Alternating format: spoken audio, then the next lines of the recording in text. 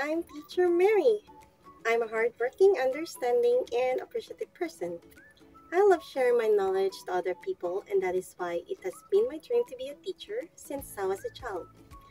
I have graduated with a degree in Bachelor of Elementary Education in University of Caloocan City. I have attended English trainings and participated a lot of seminars about effective learning and the values of education. I am a LET passer and has been teaching ESL both online and offline. I have been teaching for 15 fruitful years.